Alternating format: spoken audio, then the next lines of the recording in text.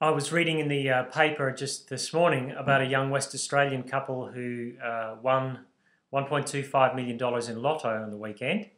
Uh, their fourth time that they've been doing lotto ever. And uh, they've bought a few toys, but they're going to uh, use the rest to be able to fund uh, some study that he wants to do, the young man wants to do, and to quit his job. And it seems like in a country like Australia, where we are fabulously wealthy, when you do get extra money, it just funds an increasingly uh, uh, the lifestyle that you want. And uh, we live in a place of great wealth. Now, we're not the only country at the time that has uh, had to grapple with the issue of wealth from a wealthy perspective. Uh, what do the wealthy think about wealth? That's one of the questions that is raised by the wisdom literature of the Old Testament. Uh, traditionally, it's been understood that much of the wisdom literature, from Job through to Ecclesiastes and Songs of Songs, Psalms, Proverbs, uh, that was all uh, written at a time when Israel was doing fairly well as a nation.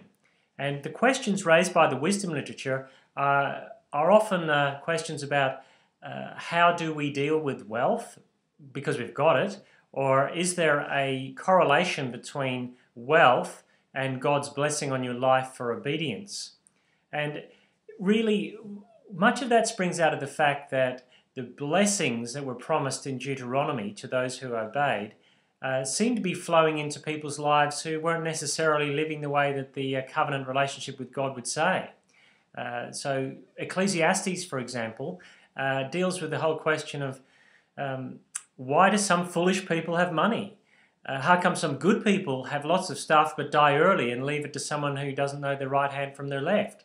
These are uh, interesting questions that are asked.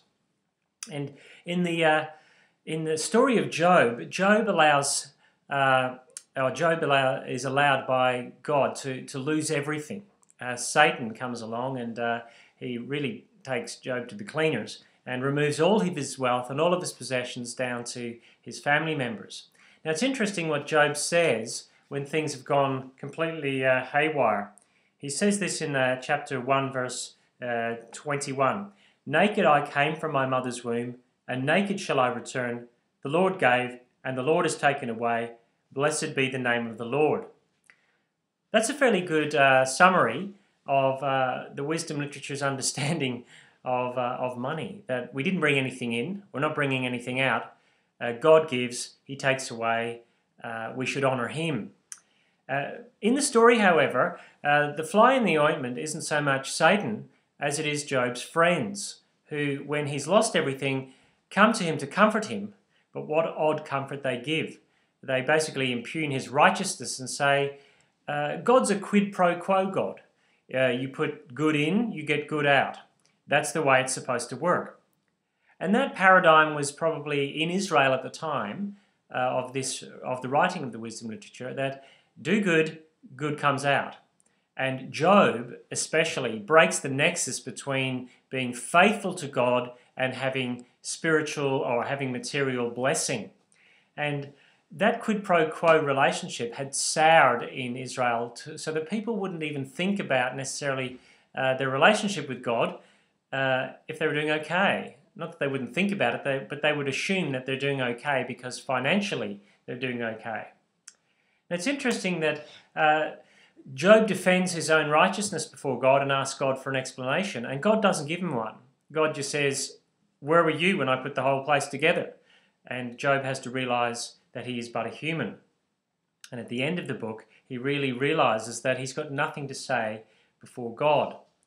Now, when you come to the Psalms, uh, there's a situation where you find that many, many of the Psalms are written about people who are have been poor and then are, and, and have become wealthy. So David writes some of the psalms from a perspective of where he's not doing so well. Other psalms he would have written when he was king. Uh, in that book, however, the thing that we come across is that God loves those who are poor in spirit. Uh, there's a certain element in the Psalms that God is with the righteous man, and there are many wicked who are doing well who are scoffing the righteous man. So that starts to break the link between uh, doing uh, well financially and, and spiritual success. However, when you come to the book of Proverbs, it definitely could be uh, misunderstood as being completely quid pro quo.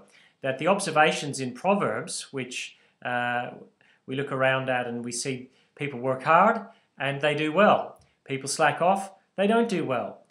The righteous are doing well, uh, the sinners are going to fall by the wayside. Often that's a caricature of uh, Proverbs because it's a little bit more complex than that, but there's certainly a sense that the Proverbs, which are observations about life, uh, give the general impression that if you work hard, you will do well. And if you don't, you won't. Now, that's obviously true to a certain level. But the, the real tension question is what about those who are working hard or have been godly and have fallen in a heap? Those are questions that Proverbs itself, as wisdom literature, uh, doesn't really deal with as much.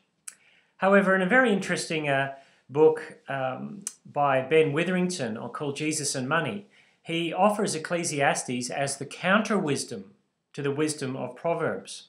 And he says that counter wisdom uh, says that despite all the things that are going on that would seem to give you wealth, how come it seems that that's not what's happening?